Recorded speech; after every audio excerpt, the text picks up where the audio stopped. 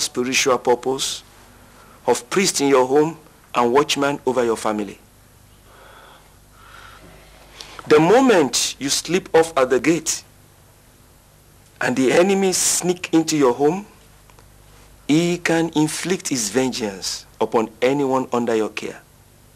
Oh my God. Papa, does that mean the enemy has sneaked in? Yes. Long time ago. And he has begun to rage. Oh my God. Ah. Have mercy on me, Papa. Have mercy on me. Help me, Baba.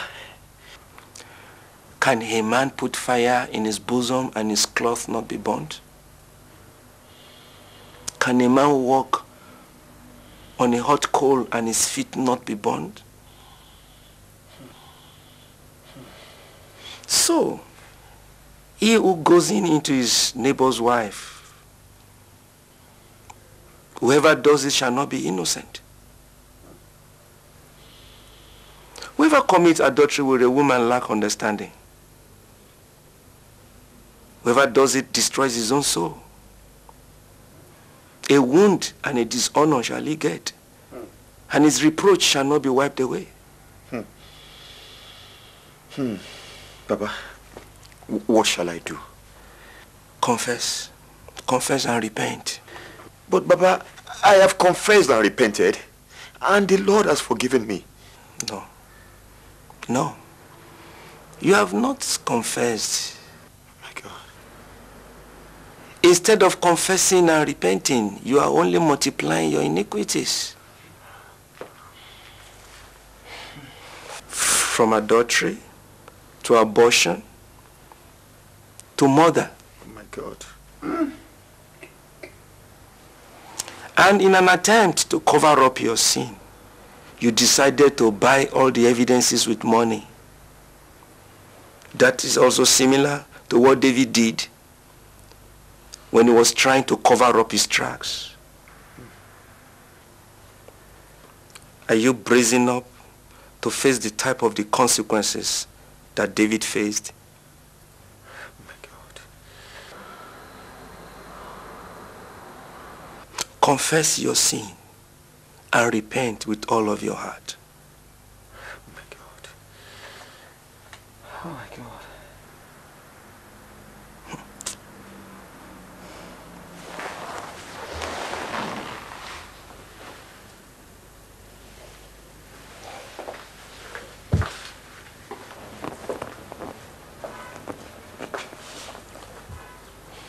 I can see that you are willingly allowing the enemy to harden your heart against the will of God.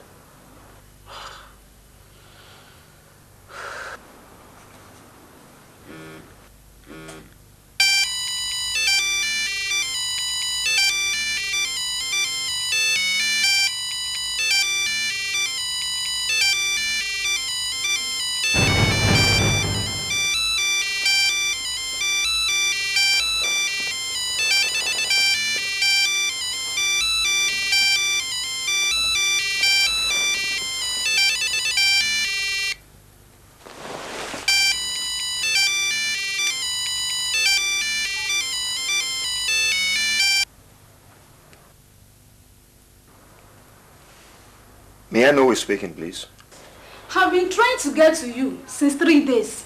But each time I call, went through, you have been cutting it off. Is that so? But may I know who is speaking, please? It's me here today. Why are you avoiding speaking with me? I got another line this afternoon, so I knew I would get you. This is my new number. Now, what do you want from me? I have wanted to express my sympathy on the sudden tragedy that befell your family. I'm sorry. Thank you.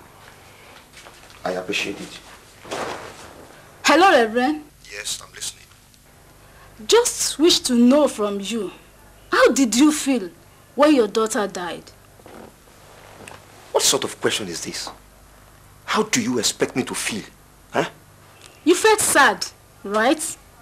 You felt you have lost someone very precious to you.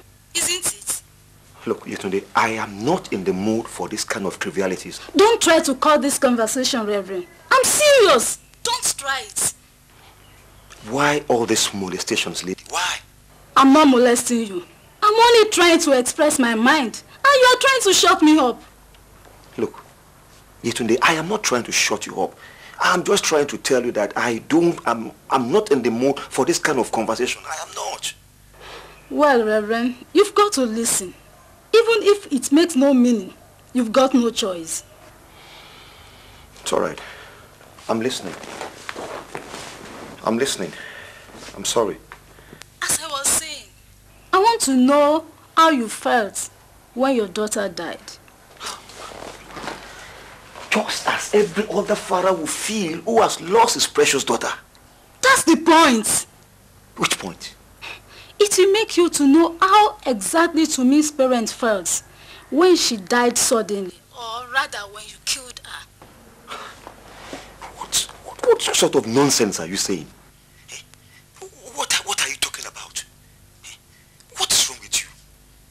What is wrong with you? What else do you need from me, for God's sake? What else do you need from me? And by the way, I, I know nothing about what you are talking about. You know nothing about me? Listen, she was once a staff in my office. Now she has died. That is all I know about her. Good day.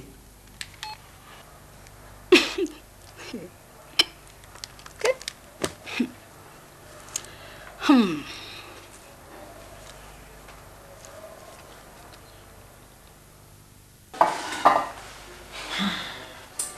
Honey, I strongly believe we didn't make a mistake for inviting him for the conference. The Lord ordained it.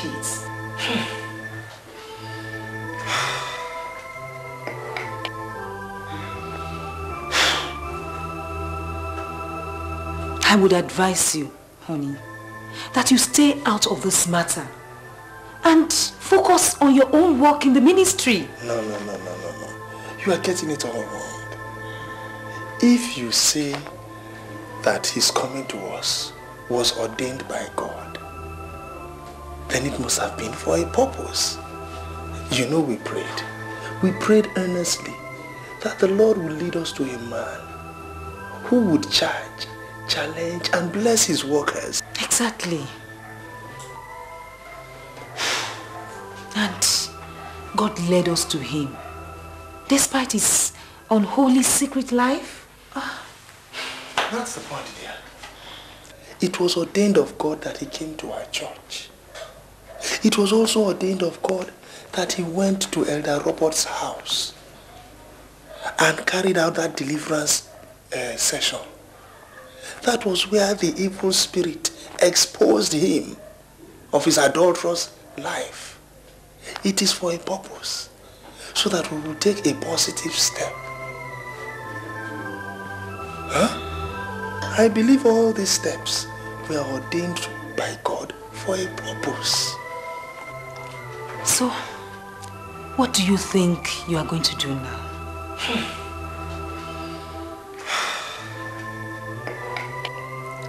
The Lord could not have allowed me to see all these things and keep quiet. It's like being like an accomplice Uh, I should be able to help positively somehow. Help? How? He's an elderly man of God who has fathered many young ministers of God and is highly regarded as a reputable ministry personality. How do you face such a man?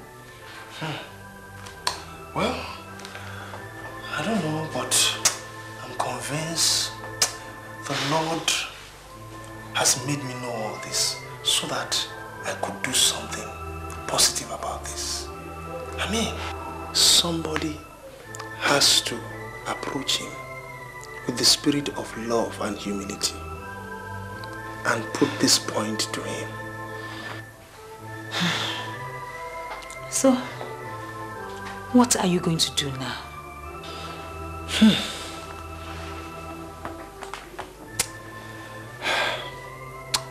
Really don't know, but I believe that the Lord will teach me what to do. Excuse me.